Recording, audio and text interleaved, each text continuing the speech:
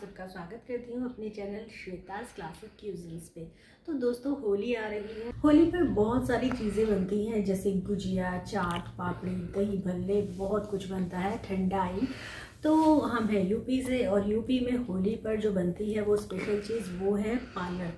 तो आपने नाम शायद ही सुना होगा तो आज हम बनाते हैं पालर। वो खट्टे मीठे पानी के साथ पकोड़े उसमें ऐड करते हैं और तब वो बनती है बढ़िया सी रेसिपी तो चलिए आज बनाते हैं हम यूपी स्पेशल पालर।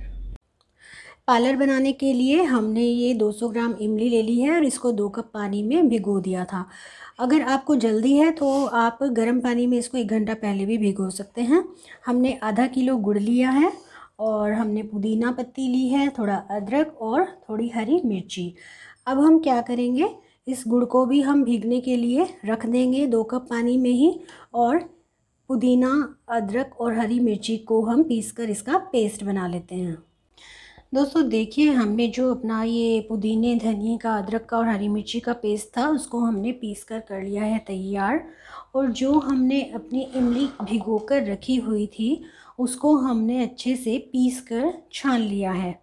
तो ये पेस्ट हमारा इमली का तैयार हो गया है। अब हम क्या करेंगे? हम लेंगे एक बाउल और हमने जो गुड़ को भिगोया था, उसको हम छान लेंगे। ये हमने गुड़ को भिगो कर रखा था एक घंटे के लिए, इसको हम छान लेते हैं। गुड़ में थोड़ी गंदगी वगैरह ना हो, इस वजह से हम इसको छानते हैं ताकि उसकी जो इम्प्योरिटीज़ हैं वो नीचे ही रह जाएँ। आप चाहें तो गुड़ की जगह चीनी का भी इस्तेमाल कर सकते हैं। हमने अपने गुड़ को छान लिया है। ये देखिए, अब हम बनाते हैं अपना पानी।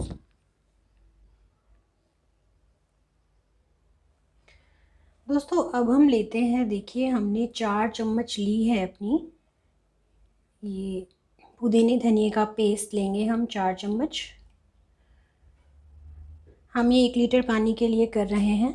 आप चाहें तो आप जितना पानी बना रहे हैं, उस हिसाब से इसको ऐड कर सकते हैं। दो चम्मच हम लेंगे इमली का पेस्ट। और अब हम एक कप लेंगे गुड़ का पानी।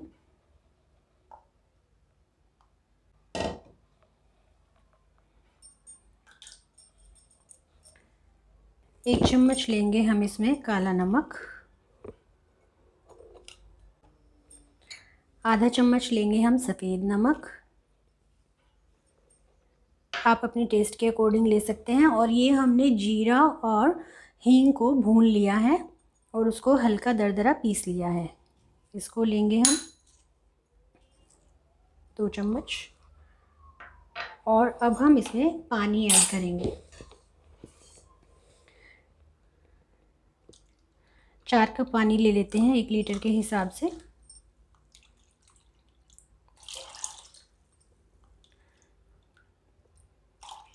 पानी ठंडा ले लीजिएगा। चिल्ड पानी का ही यूज़ करना है इसमें।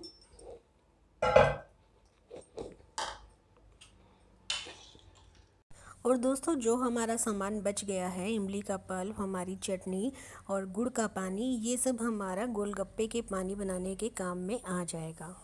इसमें हम ऐड करते हैं बूंदी।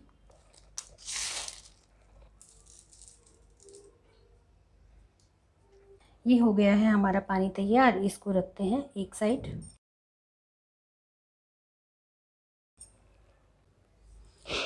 दोस्तों, ये हमने दो कप उड़द दाल ली थी और इसको हमने रात भर भीगने के लिए रख दिया था।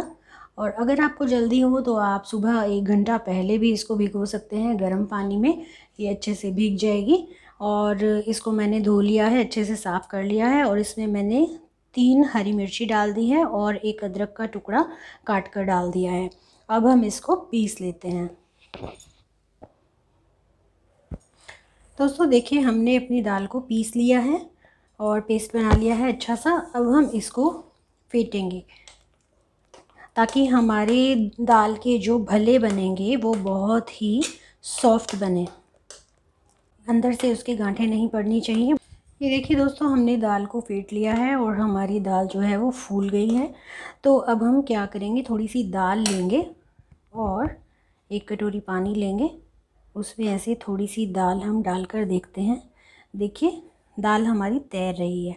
इसका मतलब हमारी जो दाल है, वो भले तलने के लिए तैयार है। दाल बहुत हल्की हो गई है और अब हम इसके भले बनाते हैं।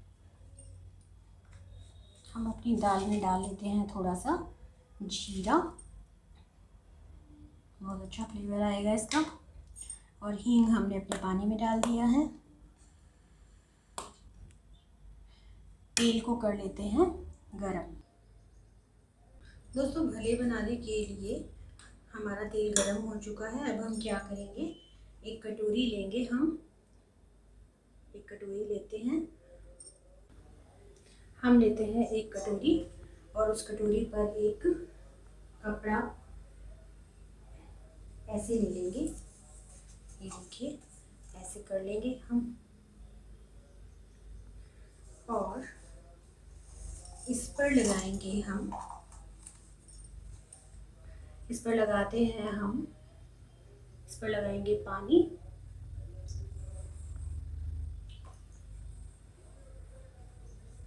गीला कर लेंगे इसको।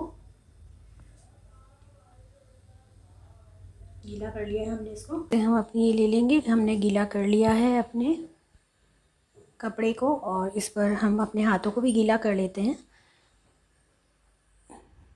और अपनी दाल को लेते हैं इस कपड़े पर ऐसे। इसको फैलाएँगे।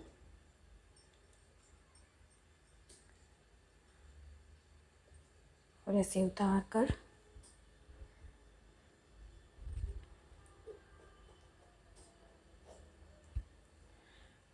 डाल देते हैं।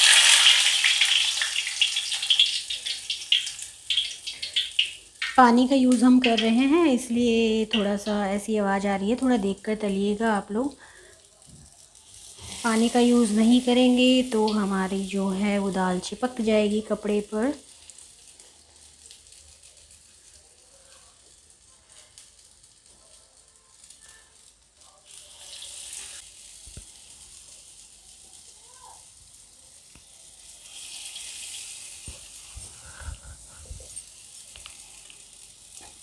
ऐसे हम अपने सारे भलों को तल लेते हैं। आप इसे हाथों से भी बनाकर इसको डाल सकते हैं, अपने भलों को। अगर आप थोड़ा चपटा करना चाहें तो आप कटोरी पर बनाएँ और अगर आप ऐसे गोल गोल ही बनाना चाहते हैं तो आप ऐसे हाथों से भी बना सकते हैं। देखिए, हमारे जो दाल के भले हैं, ये और भी फूलते जा रहे हैं। इनका जो है आकार बड़ा होता जा रहा है।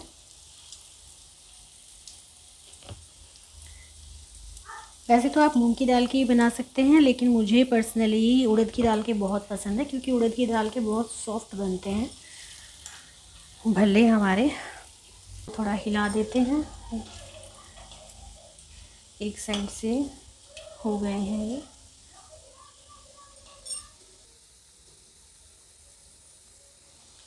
तो हमारे भले बनकर हैं तैयार और अब हम इनको निकाल लेते हैं। ये देखिए गोल्डन ब्राउन हो गए हैं। हम अपने सारे भलों को तल लिया है। ऐसे अच्छे से साइड में लगा के इनका एक्स्ट्रा तेल निकाल के तब इनको निकालते हैं।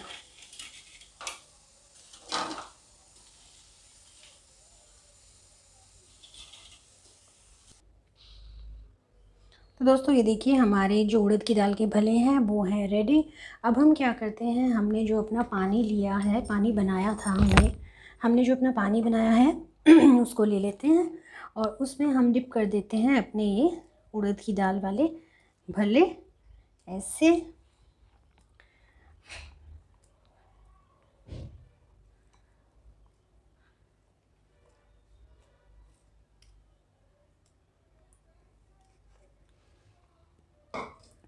ये देखिए दोस्तों, हमारा पार्लर बनकर रेडी है और बहुत ही मज़ा आने वाला है आपको जब इसको आप बनाएँगे और इतना टेस्टी लगता है ना ये पीने में। एक बार बनाएँगे तो हर बार त्योहारों पर आप इसी को बनाने का आपका मन करेगा और जब त्योहारों पर कुछ मीठा खा लेते हैं ज़्यादा तो खट्टा खाने का मन करता है और ये खट्टा, मीठा सा ये पानी, ये पार्लर इतना टेस्टी लगेगा ना। तो आप बनाइए इस होली पर और इन्जॉय कीजिए अपनी फैमिली के साथ फ्रेंड्स के साथ।